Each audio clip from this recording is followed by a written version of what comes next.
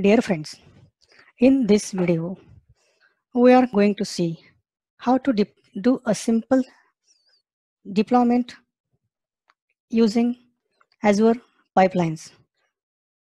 So we will be doing a sample SQL script and we will be automatically deploying it to the database using Azure pipelines. Azure pipelines is a part of Azure DevOps, which provide us automated deployment and releases using Azure portal. It is also called as continuous integration and continuous delivery, which helps the developments and operations team to deploy the applications faster and clearer and without manual intervention. So let us see how to do it. So first now we will see how to log into DevOps portal. To log into DevOps portal, you have to type dev.azure.com.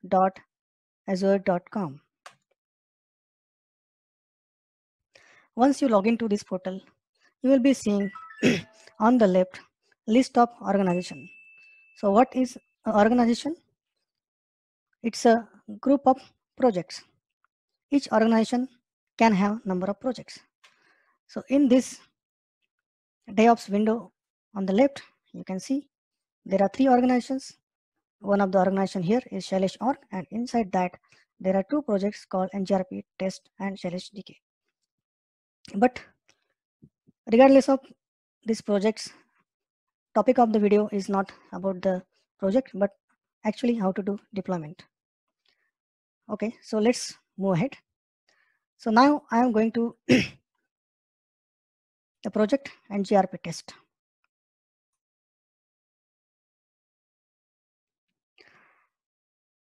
Okay. And now we'll go to pipelines and then releases. So we are here creating a deployment a release pipeline to deploy a simple SQL script to database. Earlier, I have created a pipeline and also tried it. You can see in this window, there are a couple of releases which I have done. But for the sake of demo, I will be creating a new pipeline for you. So here I will click on new and say new release pipeline. Okay. So after that, this window opens. Um, there are two boxes here. On the left, you can see there is a box which called artifacts. So what is this box? This box, with this box, we will connect to the artifacts which are linked to this deployment.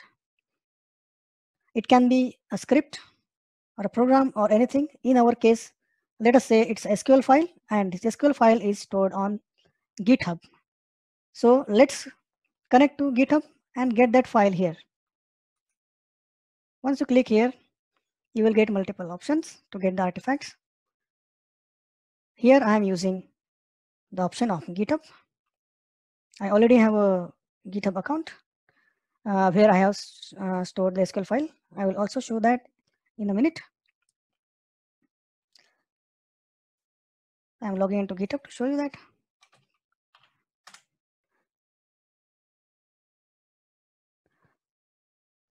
So here I am logged in as uh, my user, which is Shailesh FC.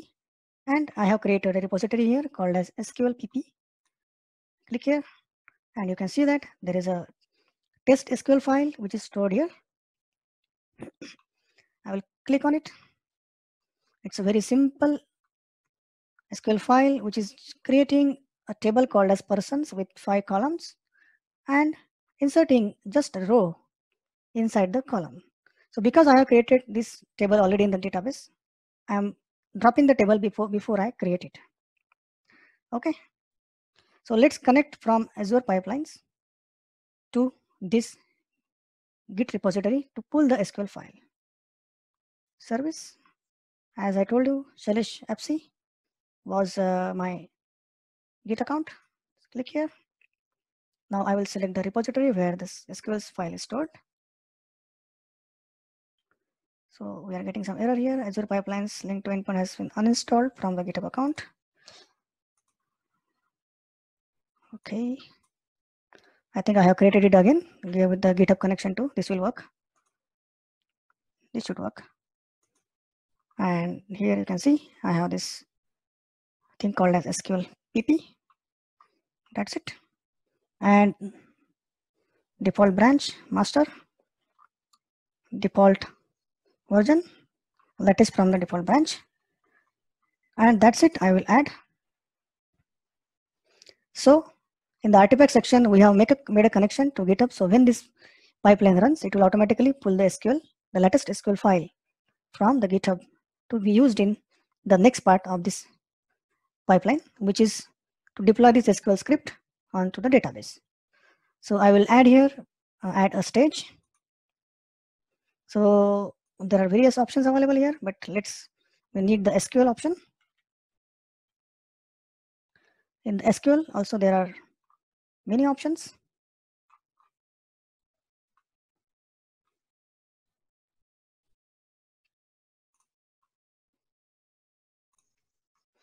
Now let's add a stage of job here. Say add new stage. I will just take a empty job because I don't want to select anything from the below. I will just take an empty job. And then in this stage, you can add a job. Agent job. I'm adding a job now. So my requirement is to do SQL deployment. I will search here for SQL.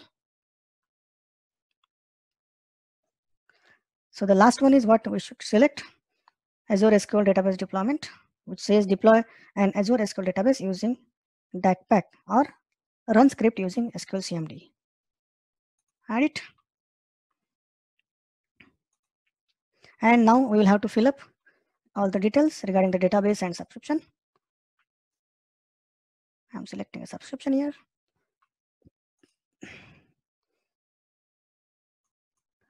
SQL Server.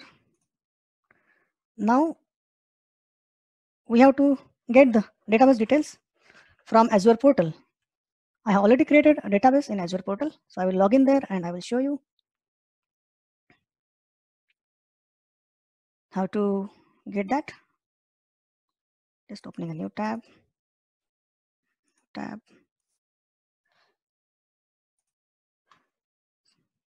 To go to Azure portal, I will type portal.azure.com.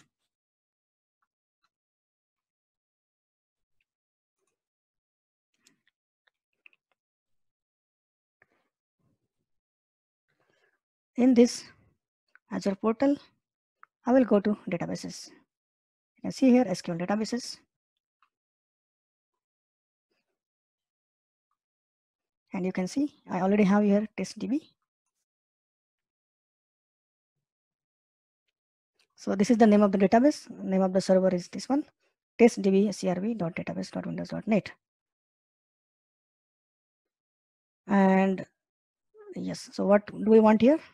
we want the SQL server name. So here you can get the SQL server name. I'll copy here and paste. What is the name of the database? Name of the database is testdb. Let's copy and paste. Creation of database and the database server is not in the scope of this video. Login. So I will pause the video for a bit to enter the password. But before that, let me go for the next steps. So here we have to select deploy type as SQL script file because we are pulling the SQL script file from GitHub. SQL scripts. Let's select. It's already there in the artifacts like we have done in the last step. You will see it, it will automatically pull here.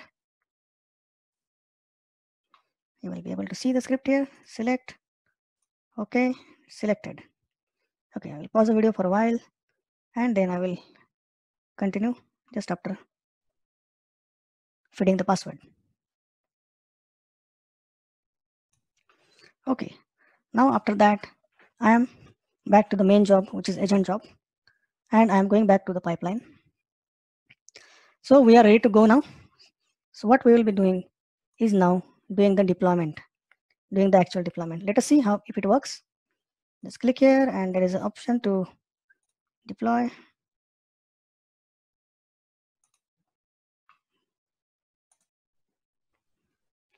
So for that, we will have to click on create release.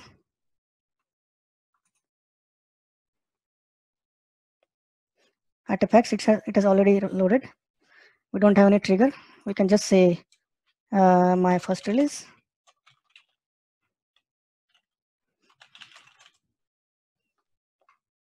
And click on create.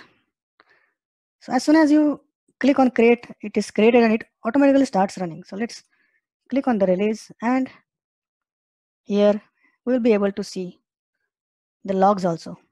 Click on logs and you will see the real-time progress of the release. Okay, it looks like it is downloading the artifacts, that is SQL file. Now it is going to connect to database. It will run some commands internally and do that.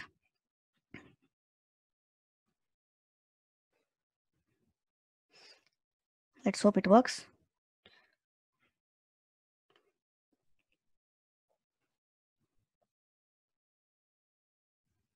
Okay, seems like there is a problem. It cannot drop the table persons because it does not exist.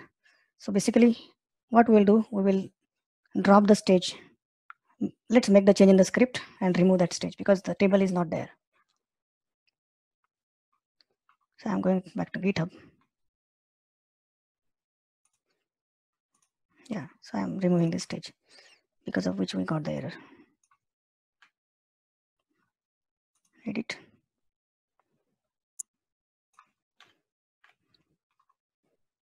And commit the changes. Okay, let's try to run it again. Hopefully this time it works. So I'll click here, deploy to deploy it again.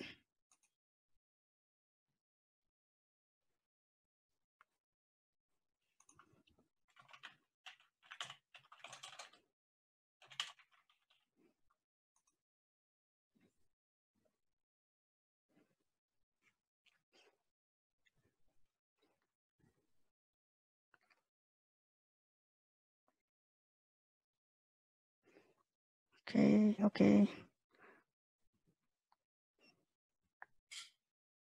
Great.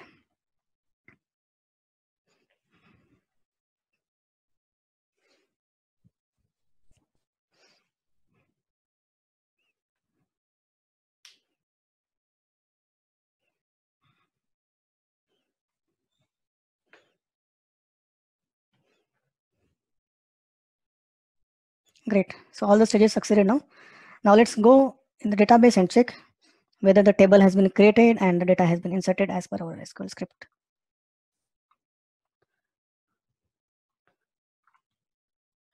There is a feature here called as query editor by which we can quickly connect to the database.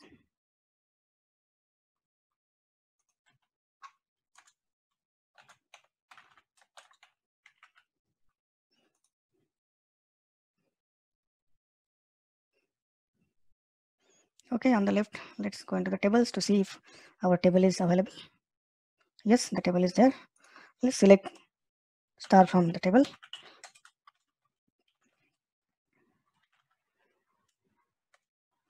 And run the query. And you will see that the table exists and we have inserted one row here, last name and first name. So that means uh, the pipeline, the deployment was successful and that's how it works. This was a very simple example. However, there are a lot of advanced things which can be done, but for the sake of your understanding, we have done this simple release deployment of SQL file into the database. For more documentation about Azure pipelines, you can Google for Microsoft documentation on uh, DevOps and uh, Azure pipelines to get further information. Thanks for watching.